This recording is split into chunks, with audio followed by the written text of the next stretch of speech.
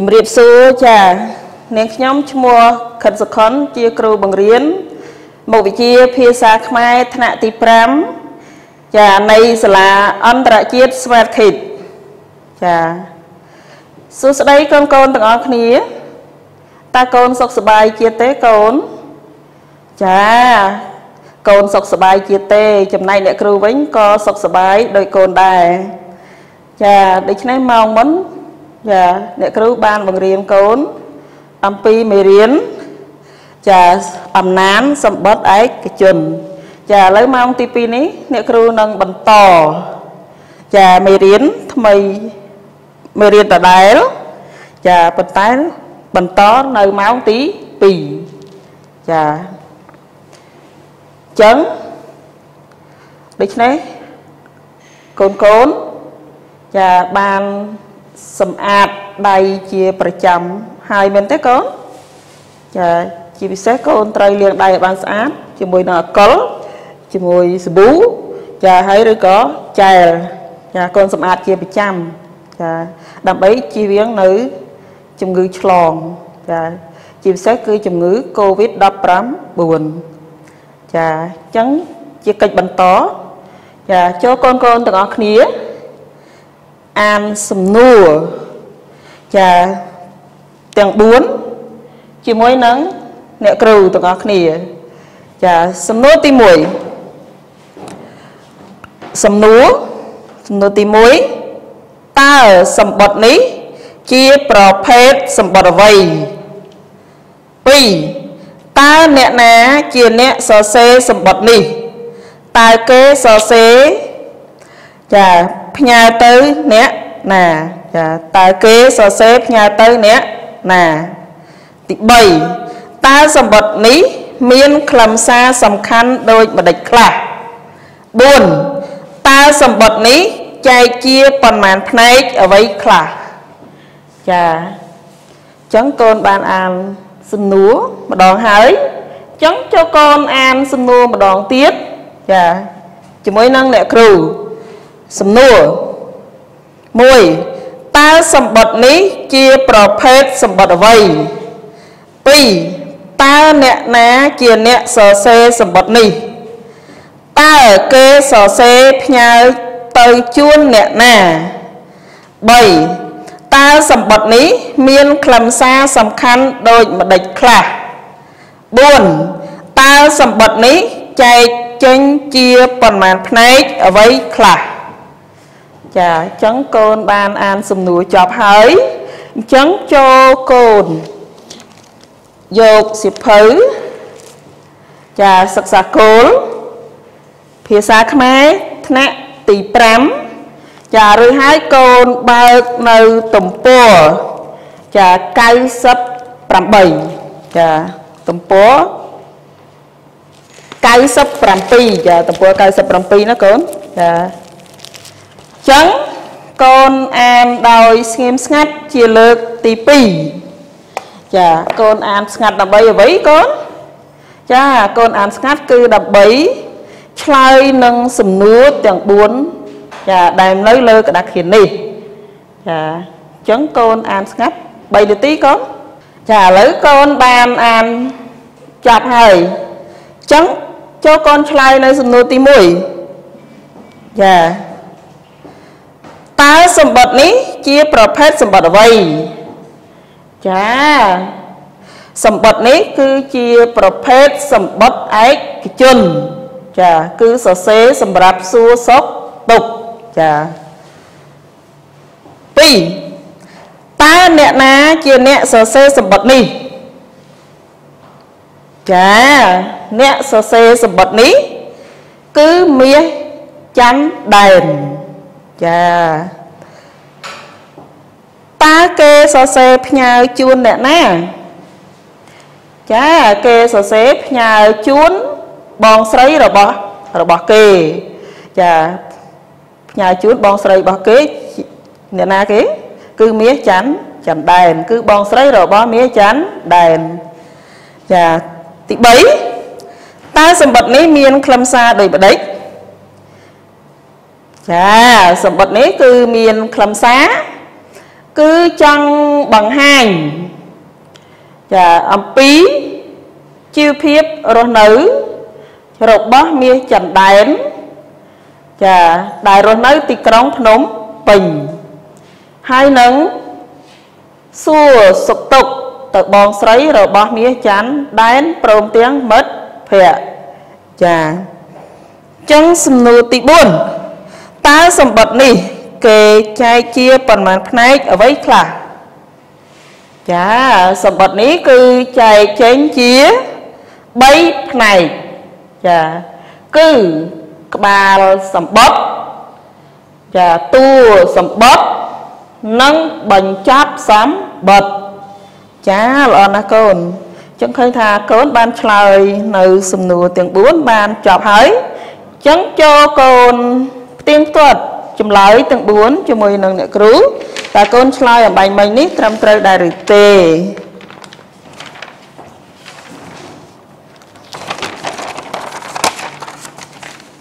ចាឥឡូវផ្ទៀងផ្ទាត់នៅចម្លើយទី1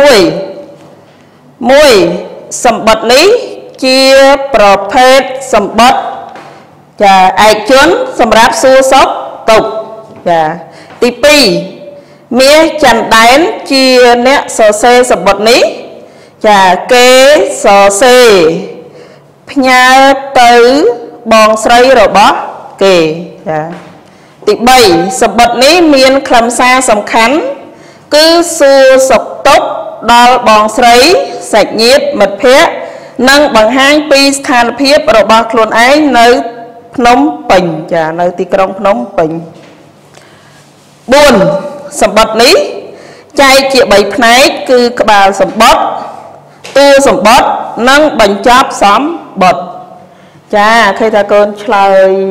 អំបញ្ញមិញគឺត្រឹមត្រូវទៅតាមចម្លើយរបស់អ្នកគ្រូទាំងអស់គ្នាដូច្នេះកូនពិតជាប្រកែមែនចាកូនទាទាដៃមួយ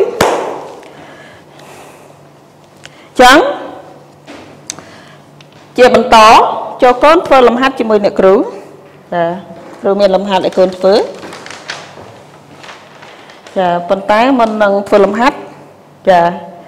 កូនចាំបាច់ត្រូវអានឲ្យលឺលឺជាមួយនឹងអ្នកគ្រូសិនចាដូច្នេះកូនយកសុភៅមកចាបើកនៅទំព័រ97ចាហើយកូនអានអត្ថបទលឺទាំងអស់គ្នាចា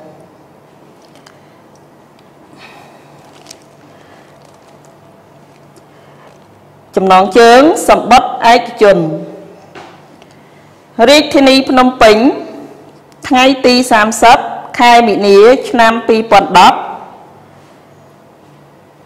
បងស្រីជាទីគោរពនិងជាទីនឹករលឹកបងស្រីអស់រយៈពេលជាយូរថ្ងៃមកហើយ ដែលខ្ញុំបានឃ្លាតពីបងស្រី និងភូមិកំណើតមករស់នៅ ភ្នំពេញជាមួយលោកអ៊ំក្នុងរយៈពេលដ៏យូរនេះខ្ញុំពុំបានដឹងសុខទុក្ខរបស់បងស្រីទេ ខ្ញុំមានក្តីនឹករលឹកបងស្រីជានិច្ចតើបងស្រីមានចិត្តនឹករលឹកប្អូនទេសប្ថ្ងៃខ្ញុំនិងលោកអ៊ំនៅឯភ្នំពេញ មានសេចក្តីសុខធម្មតាទេតើបងស្រី មានសេចក្តីសុខដែរឬយ៉ាងណាឯការសិក្សារបស់បងវិញយ៉ាងណាដែរបងស្រីជាទីនឹករលឹកខ្ញុំសូមជម្រាបបងថា កាលពីមកដល់ភ្នំពេញដំបូងខ្ញុំឃើញចរាចរណ៍តាមផ្លូវណែនណាន់តាន់តាប់ខ្ញុំពុំហ៊ានដើរចេញពីផ្ទះទេ ខ្ញុំមានអារម្មណ៍ថា ភ្នំពេញពិបាករស់នៅណាស់តែឥឡូវនេះ ទៅជាធម្មតាដូចគេដូចឯងសប្តាហ៍ថ្ងៃ នៅសាលារៀនខ្ញុំយកចិត្តទុកដាក់រៀនសូត្រណាស់នៅផ្ទះខ្ញុំខិតខំមើលមេរៀនធ្វើលំហាត់និងភាសាអង់គ្លេសបន្ថែមទៀតការសិក្សារបស់ខ្ញុំ ទទួលបានលទ្ធផលល្អជារៀងរាល់ខែខ្ញុំប្រកាសជជាប្រឡងជាប់មិនខាន ក្រៅពីការសិក្សាខ្ញុំឆ្លៀតជួយបោសសម្អាត ស្រោចផ្កាជាដើម ចាប់ពីពេលនេះទៅ ខ្ញុំបដិញ្ញាចិត្តថានឹងខិតខំប្រឹងប្រែងរៀនសូត្រឲ្យបានពូកែធ្វើជាមនុស្សល្អ មិនឲ្យបងស្រីអស់សង្ឃឹមឡើយ សូមបងស្រីកុំព្រួយបារម្ភពីខ្ញុំឲ្យសោះជាមួយនេះដែរខ្ញុំក៏សូមផ្ញើនៅសេចក្តីនឹករលឹកដ៏លើសលប់ក្រៃលែងនិងការសួរសុខទុក្ខពីចម្ងាយផង ចំពោះលោកពូអ្នកមីងញាតចិត្តខាង អ្នកភូមិទាំងអស់គ្នា ជាពិសេសមិត្តភ័ក្តិរបស់ខ្ញុំ សូមបងស្រីជួបប្រទះនៅពុទ្ធពោ4ប្រការ គឺអាយុវណ្ណៈសុខៈពលៈកំបីឃ្លៀងឃ្លាតឡើយពីប្អូនប្រុសសម្លាញ់ចិត្តរបស់បងមាសច័ន្ទដែន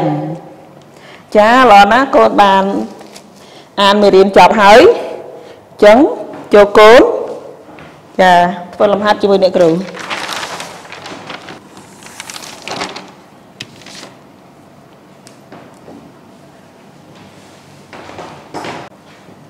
ចា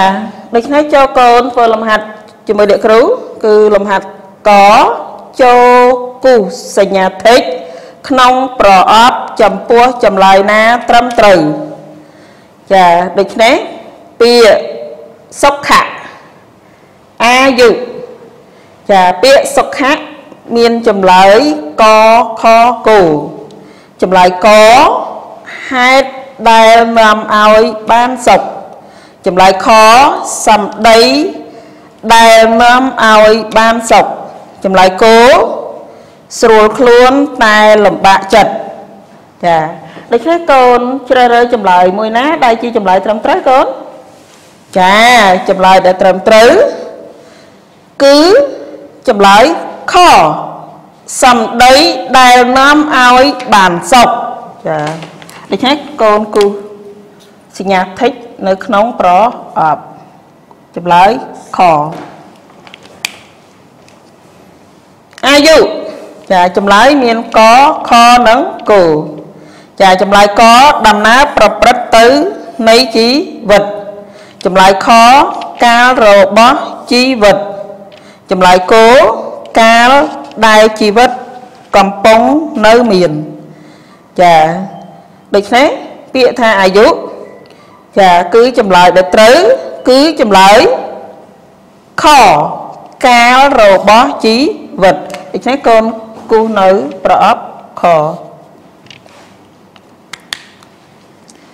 ចាដូច្នេះឃើញថាកូនបំពេញសញ្ញាធិចក្នុងប្រអប់បានហើយចូលកូនធ្វើលំហាត់ខបន្តចាឥឡូវចូលកូនពិនិត្យមើលលំហាត់ខ ចូលតម្រូវពាក្យនិងន័យរបស់វា ពាក្យទី1បដិញ្ញាពាក្យទី2សុខអឺទុកចាទុកចាពាក្យទី3ពលៈពាក្យទី4វណ្ណៈចាដងទៀតកូនអានពាក្យម្ដងទៀតបដិញ្ញាទុកពលៈវណ្ណៈចាចម្លើយក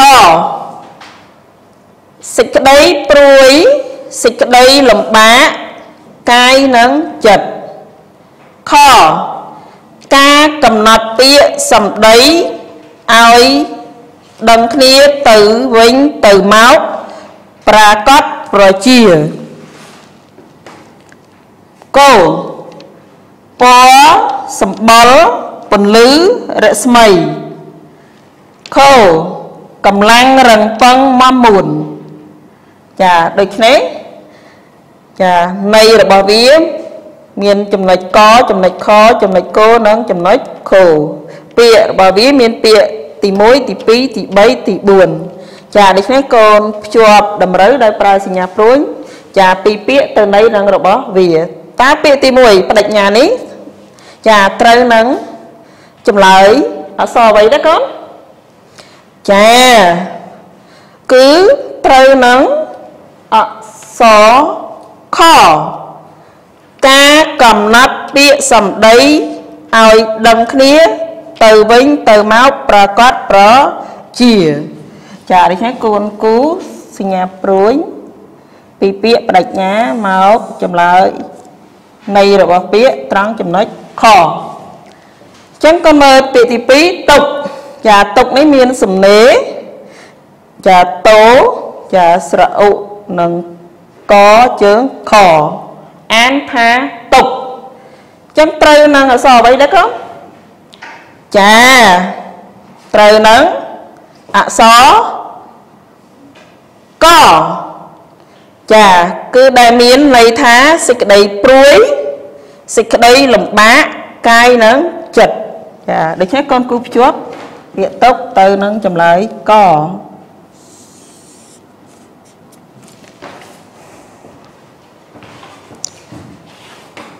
ពាក្យទី3ពលៈចាតើត្រូវនឹងចម្លើយណាទេកូនកូនមើលចាពាក្យទី3នេះគឺត្រូវនឹងចម្លើយខមានន័យថាកម្លាំងរឹងប៉ឹងមាំមួនចាដូច្នេះកូនគូភ្ជាប់ពាក្យពលៈមកត្រង់ចំណុចខ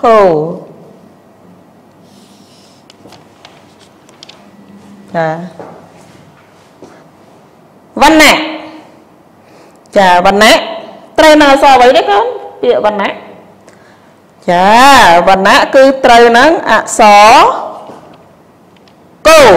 ដែលមានន័យថាពណ៌សម្បុរពន្លឺឬរស្មីចាដូច្នេះកូនគូសញ្ញាព្រួយពាក្យវណ្ណៈភ្ជាប់ទៅនឹងចម្លើយកោ ចាដូច្នេះឃើញថាកូនបានបំពេញចាលំហាត់ហ្នឹងរួចរាល់ហើយចាអញ្ចឹងចូលកូនចាអានជាមួយអ្នកគ្រូឡើងវិញចានៅចម្លើយចាហើយនឹងលំហាត់ខរបស់យើងចាផ្ទៀងផ្ទាត់បដិញ្ញា ការកំណត់ពាក្យសម្ដីឲ្យដឹងគ្នាទៅវិញទៅមកប្រាកដប្រជាទុកសេចក្តីព្រួយសេចក្តីលំបាកកាយនិងចិត្ត